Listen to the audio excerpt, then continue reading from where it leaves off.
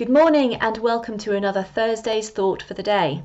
This morning I thought I'd reflect upon the Benedictus, which we read in the morning prayer every day.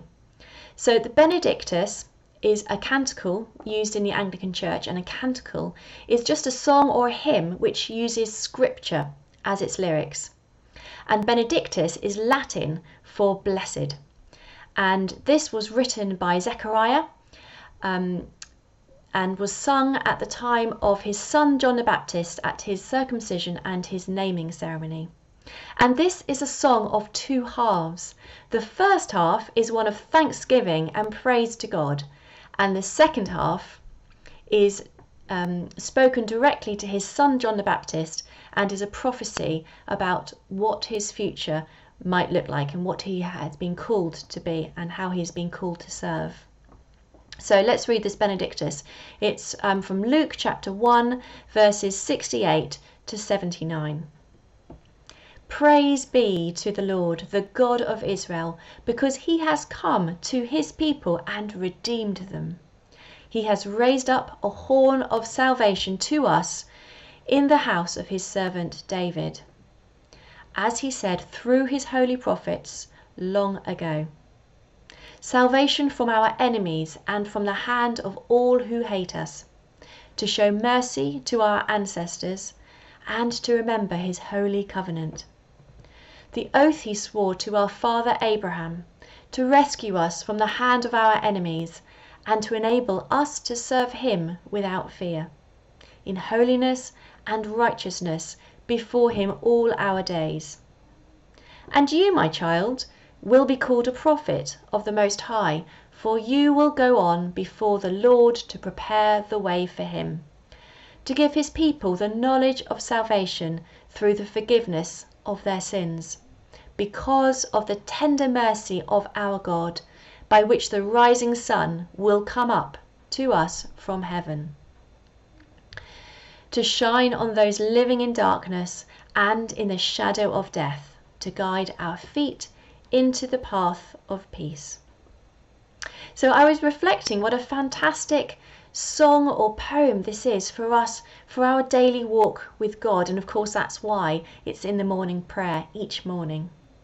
So the Benedictus starts by praising God joyfully and giving thanks for all the blessings which we have received.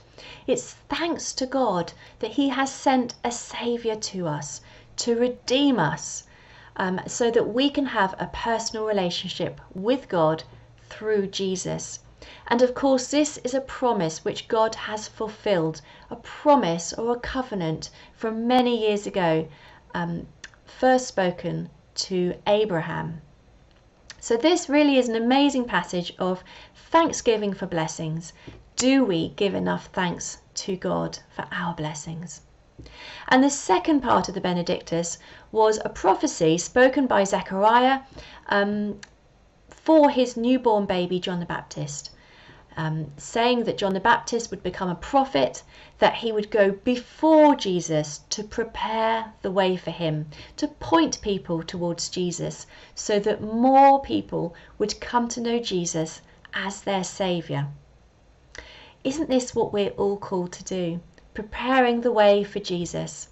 So, in Jesus' great commission to us, to all of us, at the end of Matthew's Gospel, Jesus says, Therefore, go and make disciples of all nations, baptizing them in the name of the Father, and of the Son, and of the Holy Spirit. Now, we can prepare the way for Jesus amongst those who we know by perhaps praying for them, people that we know who don't yet know Jesus. We can pray for them. We can pray for opportunities to share our faith with them. And of course, always be prepared to share our faith and to share what we're up to um, at church as our walk with Jesus. And this will help point people towards Jesus. Now, of course, the job of the Holy Spirit and of Jesus is to do the conviction, um, to do the healing and the transformation. We are called, um, our role is to prepare the way for this to happen.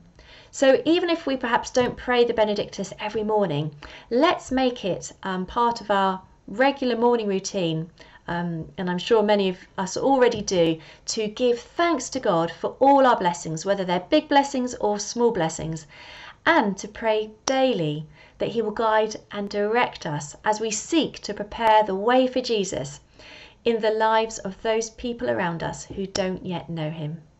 Amen, and have a great rest of your day.